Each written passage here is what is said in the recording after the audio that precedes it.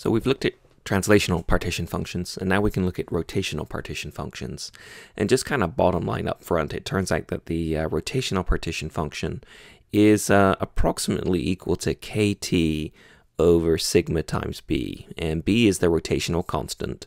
And uh, notice I'm not using the same rotational constant as Atkins, I'm using h bar squared over 2i. Sigma here is a symmetry number, and uh, let's see if I can spell symmetry. Symmetry has uh, two M's and one T, is that right? And the symmetry number, we're really not going to go into it too much here, but uh, I can give you kind of a little flavor maybe. Uh, a molecule like HCl has a symmetry number of 1, and uh, the reason for that is that as you rotate it uh, from 180 degrees one way and then the other, it looks completely different. but if you take a molecule like hydrogen or a molecule like carbon dioxide, they actually have symmetry numbers of 2, and the reason for that is that if you rotate them, and uh, I can go ahead and I can label these atoms. In reality, of course, we can't label them. And if you imagine a uh, rotation about this uh, C2 axis here, and uh, you made a 180 degree rotation here, it would leave the hydrogens in the opposite position to before, uh, but it turns out that they are symmetrical and completely identical. And so uh, you really can't distinguish between these two orientations. So we have to be a little bit careful and to avoid double counting, we're going to divide out by that symmetry number. The same with carbon dioxide. And so carbon dioxide, uh, again, as we make uh, I guess the left hand oxygen and the right hand oxygen A versus B, and we do that 180 degree rotation, we get another state here uh, where we've swapped the oxygens around, but uh, because the oxygens are essentially identical, we uh, can't distinguish between them, and so our symmetry number of two just helps us avoid that double counting. Um, there's a little bit more to it, actually. We have to actually deal with Pauli statistics, but uh, very, very roughly, you can see the symmetry number is equal to um, the uh, principal rotation axis number. We can derive the partition function expression for rotational energy levels uh, using quite a sneaky trick actually, and uh, it's kind of a neat trick because it shows up in a lot of different places. So uh, even if you don't end up using partition functions in your future, it's possible you might end up using this trick somewhere in your future, maybe. So we know the partition function is basically a sum over all the states, or we can do it over the levels actually. So since uh, we've got uh, a 2j plus 1 degeneracy for the rotational levels, it's probably easier to sum over the the levels instead of the states. So G sub L, right, so that's our, um, our degeneracy, so that's 2J plus 1, times by E to the minus the energy of each level J over KT. Okay, and we know that the uh, expression here then can be expanded out, and so, uh, uh, oops, I'm sorry. Uh, so G sub J is 2J uh, plus 1. Okay, and then e to the minus the energy is, uh, let me see, b j, j plus 1, so that's why I prefer that, prefer that rotational constant form over Atkins's form, uh, all divided by kt. And uh, we can go ahead and we can do that sum. Now, the sneaky trick I mentioned earlier is uh, something you've possibly seen before. So we're doing a sum. Uh, we you can think about it in terms of a sort of a bar chart, right? Would be the sum of the areas of these rectangles here. And so each little strip right? You can add up and uh, bring them together.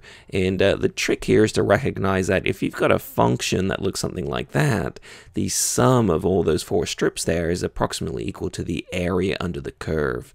And the area under the curve we get by differentiating. So if we've got that function and uh, we've got the limits here, a and b, let's say, then we can approximate the area of those strips or those uh, four sums there as the, as the area under the function, right, the integral. So this is our approximation here. So we're going to go ahead and uh, we're going to say that this is approximately equal to the integral uh, now we're varying j, so uh, our limits here are going to be j equals 0 and uh, j equals infinity, so j can go all the way up, presumably, uh, although unless we're at infinite temperature, it probably doesn't matter about those infinitely high levels. So uh, what do we have? 2j plus 1 times by e to the minus uh, bj, j plus 1, da, da, da, da, da, over kt, and then we're uh, integrating over values of j, so we got dj at the end. Now this expression here, you might say, well, gosh, it doesn't seem like a really neat trick because it looks like this expression is super hard. Uh, but what we can do actually is we can notice that this integral has a, quite a simple form. And if you remember, integration is just anti-differentiation.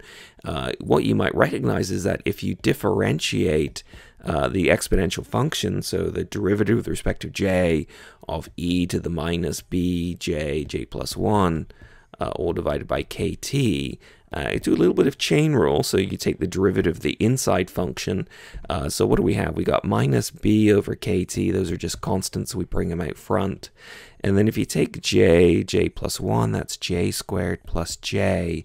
And the derivative of j squared plus j is 2j plus 1. Ah, so is it looking kind of familiar now? And then uh, we basically take the derivative of the exponential function. Well, e to the power is just e to the power. And so it's e to the power of minus b, uh, well, everything we had before like so.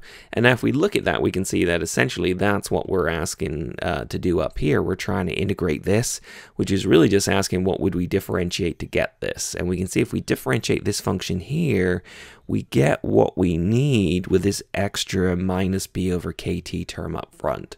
And so if we multiply by the inverse of that, uh, then we can basically uh, get the expression we need. And so I'm going to squeeze this in on the bottom. Actually, I'm going to move everything up. Hold on. I'm just going to move everything up like so. Okay, awesome. And now we can go ahead and we can finish this off. So qr is equal to, uh, so we need um, this function here, right? This part here we need to invert uh, because when we multiply that, we need to cancel it. So it would be minus kt over b. And then that integral up here now is exactly what we need. Uh, it's this thing down here. So we know that if we differentiate this, uh, we get this times by this extra term here. And so uh, the antiderivative then is the integral. So this thing up here is the answer to our integral. So it's e to the minus b j, j plus 1, all divided by kt. And uh, what do we have here? So we have the limits here. So we've got the limits of j equals 0 and j equals infinity. So uh, we can plug these in actually. And if we plug these in, we'll see that if we plug in the upper limit, uh, what do we have here? We've got uh, j equals infinity, so we'll have e to the minus uh, infinity. e to the minus infinity is 0, so uh, that makes life easier. And then we subtract our lower limit away, so our lowered limit um, is going to be minus kt over b times by e to the uh, minus 0, so e to the 0 is 1. Um, so that double negative becomes a positive, and that e to 0 is 1. So that's equal to kt over b. And that's what we saw earlier, actually. So we saw qr is equal to kt over b, and then we kind of put in that fudge factor sigma there. So that represents that symmetry number. The idea that uh, molecules like CO2, you know, when they rotate by 180 degrees, they're actually identical. And so we double count those states unless we divide out by two. If you've got a molecule like ammonia, right, you got that threefold rotation. That would give you a symmetry number of three here and so on. So does this trick work all the time? Well, it turns out that it doesn't actually. It's only really valid uh, when KT is bigger than B and much bigger than B. So we got to be a little bit careful here. And uh, sometimes we actually write our expression a little bit different. So our partition function we saw is equal to KT over that symmetry factor there times by B. And sometimes we can kind of focus on this here. We can see that uh, K times by b, and then if we take an unsymmetrical molecule, that's 1, so it just drops out. Uh, k over b actually has uh, dimensions of reciprocal temperature, and so we can uh, imagine ourselves uh, dividing the actual temperature by another temperature, and we typically call it T sub r, that's the rotational temperature. I should probably pop that symmetry factor back in. And uh, T sub r then is just uh, the inverse of k over b, and so that would just be b divided by k. And uh, it's a characteristic rotational temperature. And so each molecule has its own characteristic rotational temperature. And it turns out that uh, if you have a molecule like hydrogen, uh, hydrogen has this characteristic rotational temperature of 88 Kelvin, and that suggests that as long as we are above 88 Kelvin, then this term, this condition up here will probably be just fine. And hydrogen is actually a worst case scenario, although it's a very small molecule. Uh, we'll see that we have a very large quantum effects. But if you take something like bromine, uh, bromine has a rotational temperature on the order of 10 Kelvin. So really, at any temperatures you like, as long as you're not real close to absolute zero, it's probably safe to use this uh, approximate form of the uh, rotational partition function.